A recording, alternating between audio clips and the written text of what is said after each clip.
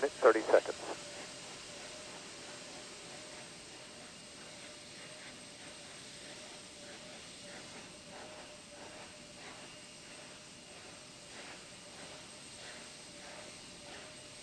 Sound suppression water system now being armed for release.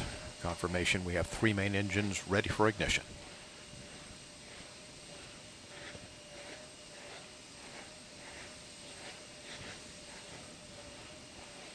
One minute.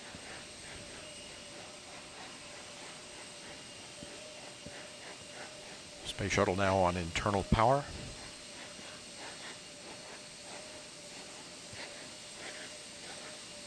Liquid oxygen and liquid hydrogen fill and drain valves are closed.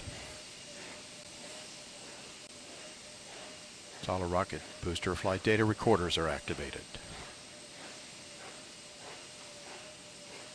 And the handoff to Atlantis's onboard computers. Atlantis now in control of the countdown. 20. Firing chain is armed. Sound suppression water system activated. T minus 10, 9, 8, 7, 6, 5, 3, 2, 1, 0. And liftoff of Space Shuttle Atlantis on a mission to build, resupply, and to do research on the International Space Station. Houston now controlling. Atlantis begins its penultimate journey to shore up the International Space Station. Atlantis now on the proper alignment for its eight and a half minute ride to orbit. Four and a half million pounds of hardware and humans taking aim on the International Outpost. 30 seconds into the flight.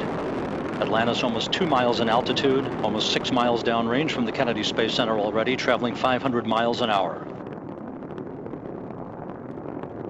The three liquid fuel main engines now throttling back to 72% of rated performance, going into the bucket, reducing the stress on the shuttle as it breaks through the sound barrier.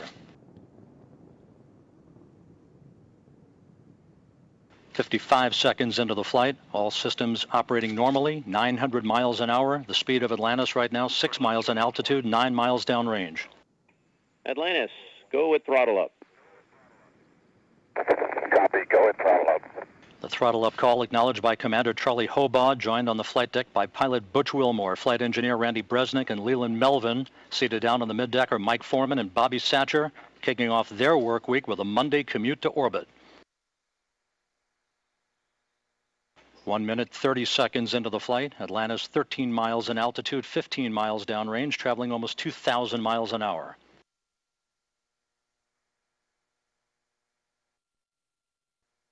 Three good auxiliary power units, three good fuel cells, three good main engines.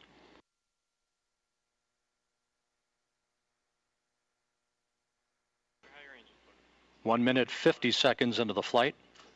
10 seconds away from solid rocket booster separation.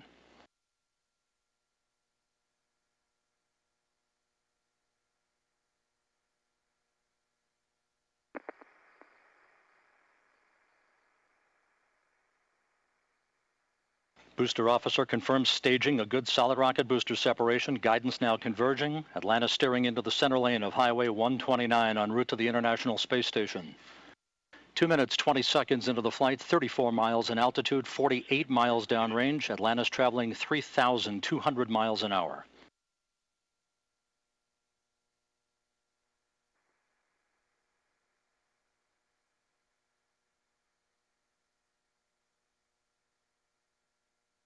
The propulsion officer in mission control reports that the orbital maneuvering system engines have ignited. Atlantis kicking on the afterburners. Copy, two engine down. Atlantis flying on the singular power of its three liquid fuel main engines, draining about a half a ton of fuel per second from the large fuel tank. Coming up on the three minute mark into the flight, Atlantis 46 miles in altitude, 81 miles downrange, traveling almost 4,000 miles an hour. Atlantis speeding straight as an arrow toward its date with the International Space Station Wednesday morning.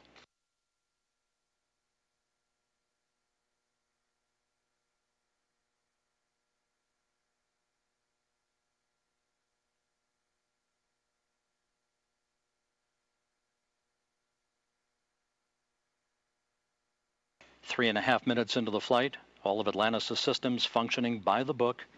55 miles in altitude, 120 miles downrange, traveling almost 5,000 miles an hour.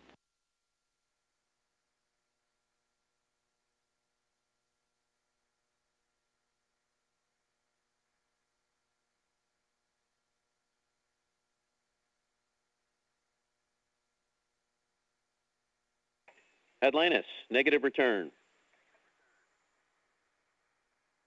Atlantis copies, negative Atlantis now too far downrange, too high in altitude to return to the launch site in the event of an engine failure. All three engines performing perfectly. Four minutes, 20 seconds into the flight. Atlantis now 62 miles in altitude, 180 miles downrange, traveling almost 6,000 miles an hour. All systems uh, performing normally. Atlantis on course, on track for its preliminary orbit. The Environmental Systems Officer reports a good flash evaporator system activated for Atlantis, providing cooling for the shuttle's avionics until the payload bay doors are opened about an hour and a half into the flight.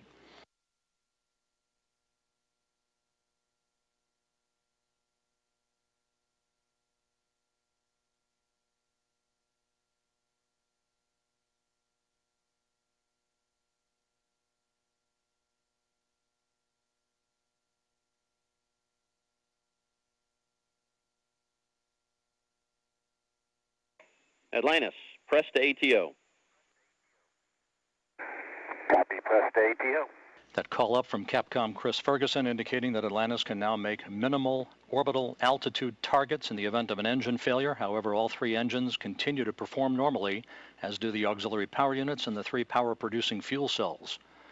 Five and a half minutes into the flight, Atlantis now 67 miles in altitude, 312 miles downrange, traveling almost 8,000 miles an hour.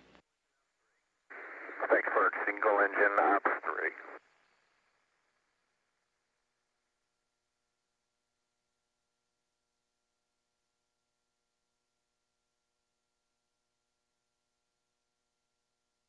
Atlantis now beginning to roll to a heads-up position, the main engine swiveling, enabling the shuttle to uh, move to a heads-up position above its fuel tank, gaining more favorable communications through the tracking and data relay satellite system as it heads uphill.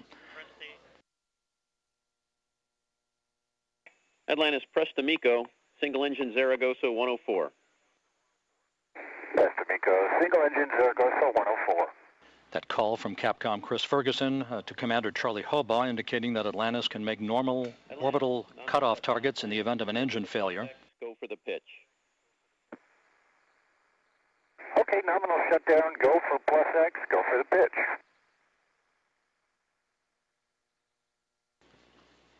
Now 6 minutes 45 seconds into the flight. Atlantis 66 miles in altitude, almost 500 miles downrange from the Kennedy Space Center, traveling almost 11,000 miles an hour. 90 seconds left in powered flight. Atlantis, single engine press 104. Single engine press 104.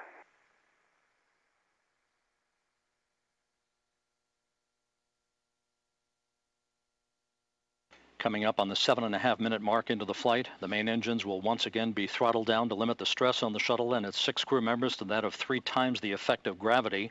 Atlantis approaching a speed of more than four miles a second. At the time of main engine cutoff, a minute from now, Atlantis will enter its preliminary orbit at a speed of five miles a second.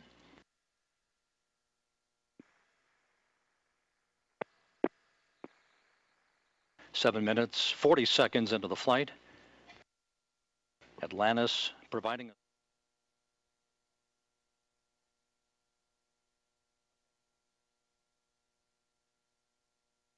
Eight minutes, 10 seconds into the flight.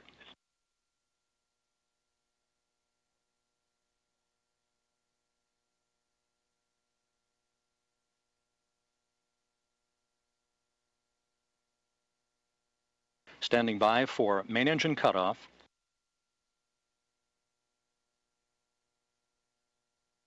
Main engine cutoff confirmed by the booster officer, standing by for external tank separation.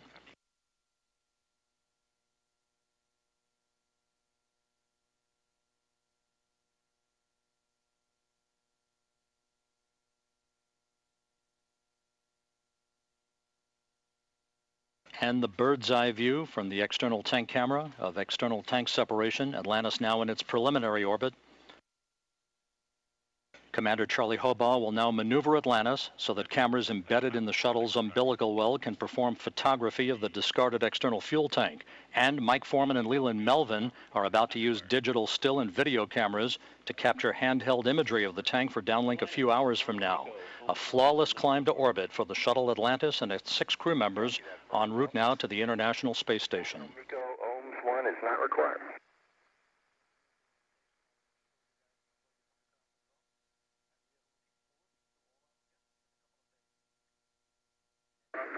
Fergie, we'll meet you in the 1. And we'll see you there, Scorch.